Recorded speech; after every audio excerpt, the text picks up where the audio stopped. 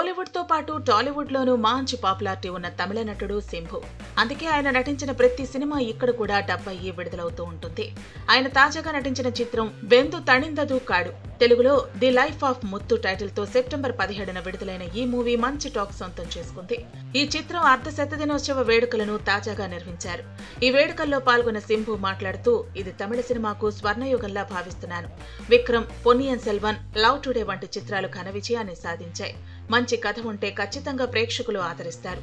బెందు తణిందదు కాడు విడుదల కాకముందు కొంత భయం ఉండేది. అటు కమర్షియల్ ఇటు హీరోయిజం లేకుండా ఈ చిత్రాన్ని దర్శకుడు గౌతమ్ వాసుదేవ్ మేనన్ తెరకెక్కించారు.